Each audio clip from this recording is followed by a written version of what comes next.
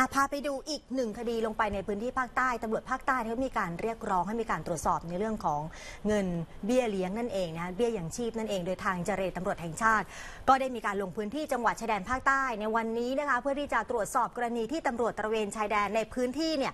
ร้องเรียนกับเพจดัง ถูกโกงเบี้ยเลี้ยงค่ะยืนยันมีการตรวจสอบตามหลักฐานด้วยความเป็นธรรมค่ะ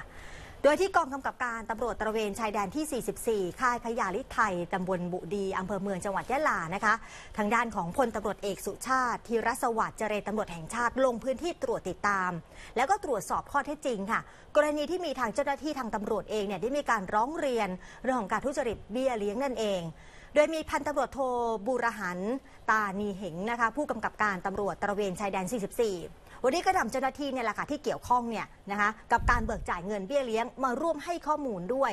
โดยทางท่านเจรตำรวจแห่งชาติก็มีการเปิดเผยนะคะว่าเรื่องนี้เนี่ยก็ได้รับมอบหมายจากผู้บัญชาการตำรวจแห่งชาติ ให้มาตรวจสอบเรื่องของการเบิกจ่ายเบี้ยเลี้ยงของข้าราชการตำรวจ ในส่วนของกองกำกับการตำรวจตะเวนชายแดนที่มีการร้องเรียนกันในสื่อสังคมออนไลน์แล้วค่ะว่า จริงเท็จแค่ไหนนะคะจะต้องมีการตรวจสอบหลักฐานตามระเบียบก่อน ถ้าพบการทุจริตจริง จะต้องว่าไปตามหลักฐานค่ะไปฟังเสียงท่านเจรตำรวจแห่งชาติกันค่ะ เงินที่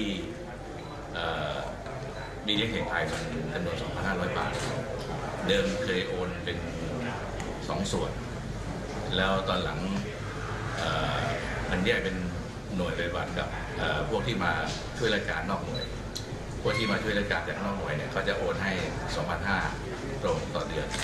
แต่คนที่ปฏิบัติอยู่ในพื้นที่เนี่ย ยอดมันจะไปโอน 2,000 บาทเข้าในบัญชีเงินเดือนตั้งแต่เดือนตุลาคมสุดแล้วก็ในบัญชีงบดำเนินการก็จะโอนเข้าแค่ 500ทีนี้ก็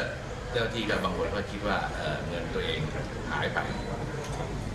แต่จริงๆก็ได้รับค่าอย่างค่าเสียงไทยครบตามจำนวนแต่ในเงินส่วนอื่นในเรื่องเบี้ยเลี้ยงกับเงินส่วนอื่นก็ก็อยู่ในระหว่างที่จะต้องมาตรวจสอบ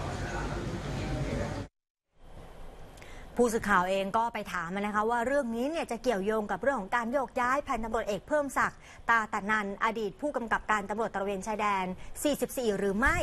ทางท่านเจรตำรวจแห่งชาติก็บอกว่าแม้ไม่เกี่ยวข้องกันนะ เป็นการย้ายตามปกติเพื่อขอกลับไปอยู่กับครอบครัวนั่นเองที่จังหวัดน่านนะคะครับ